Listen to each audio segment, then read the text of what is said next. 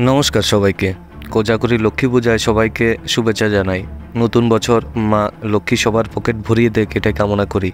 যাক, ভিডিওর মূল আলোচনায় আসা যাক। গত কিছুদিন থেকে রাজ্যের কন্টেন্ট ক্রিয়েটার প্রাংজনের বিশ্বজিতের সাপোর্টে রাজ্যের কন্টেন্ট ক্রিয়েটাররা অসংখ্য ভিডিও বানিয়েছে। এতেই বোঝা যায়, রাজ্যের সব কন্টেন্ট ক্রিয়েটাররা একে অন্যের সহযোগিতায় সবসময় হাজির। ওদের মধ্যে একটা একতা আছে। তবে একটা কথা না বলে আমি থাকতে পারছি না। তাই আজকের এই ভিডিওটা করা। বিশ্বজিতের ভিডিও ফুটেজগুলো নিয়ে কিন্তু তোমরা ওকে আরও ভাইরাল করেছ। শুধু ভিউ পাওয়ার আশায়। যা উপকারের পাশাপাশি অপকারে বেশি করেছে বিশ্বজিতের।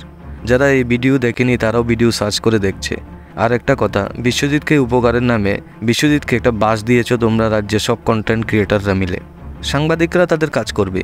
তোমাদের যেমন ভিডিও বানানোর জন্য কন্টেন্টের প্রয়োজন হয়, তেমন একজন সাংবাদিকেরও কন্টেন্টের প্রয়োজন হয় নিউজ করার জন্য। এটা সবাই কম বেশি বুঝে। তবে আজ যে ভিডিওটা দিয়ে প্রাংজনের শিক্ষা হয়েছে, এতে মোটামুটি রাজ্যের সব কন্টেন্ট ক্রিয়েটাররা ভিতরে ভিতরে একটু হলেও সাবধান হয়ে গেছেন, এটা আমি শিওর আমি বলব, যারা আপনারা কন্টেন্ট বানান সোশ্যাল মিডিয়ায় তারা এক একজন রাজ্যের আইকন কারণ মানুষ আপনাদের ফলো করে। তাই আপনারা একটু সতর্কভাবে চলবেন যাতে আপনাদের সম্মানের উপর কেউ দাগ না কাটতে পারে। যেদিন বিশ্বজিৎ আগরতলা শহরে রোড শো করার জন্য পারমিশন চাইতে গিয়েছিল, ওই দিন পশ্চিম থানার তৎকালীন ওসি সুব্রতবাবু নাকি ওকে অপমান করেছিল বলে অভিযোগ করেছিল। তখন তো কেউ মুখ খুলল না। কেন করেনি তাও আমরা জানি। প্রশাসনকে সবাই ভয় পায়। কিন্তু তখন এই সংবাদ মাধ্যমে এ বার্তা সর্বত্র ছড়িয়ে দিয়েছিল। তখন নিউজ চ্যানেলগুলো ভালো ছিল। আর এখন আতে ঘা লাগাতে সব নিউজ চ্যানেল খারাপ হয়ে গেল না? বিশ্বজিতের ভিডিওতে ঘটনা সাফাই দিতে গিয়ে স্পষ্টতে বলেছে ওকে নাকি চট দেওয়া হয়েছিল। এছাড়া বিশ্বজিৎ স্পষ্টতে বলেছে যে, ওই সাংবাদিককে নাকি ও চিনে। তাহলে থানায় ওর নামে একটা মামলা করলেই পারে। কিন্তু কেন বিশ্বজিৎ মামলা করছে না, এটাই প্রশ্ন।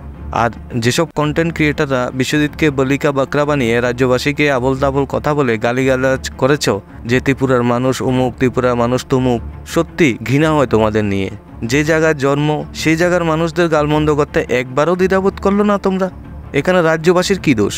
তোমরা বিশ্বজিতের নামে রাজ্যবাসীদের একটু খেপিয়ে দিয়ে রাজ্যের ভায়োলেন্স তৈরি করতে চেয়েছিলে, যা এক প্রকার দণ্ডনীয় অপরাধ। তবে সর্বশেষে এটাই বলব কন্টেন্ট বানিয়ে মানুষের ভালোবাসা পেতে সময় লাগে, কিন্তু ঘৃণার পাত্র হতে এক সেকেন্ডের ব্যাপার।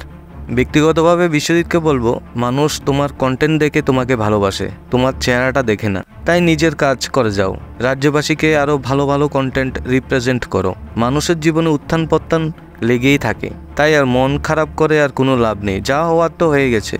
তোমার পাশে আছি, থাকব, ভালো থেকো ভাই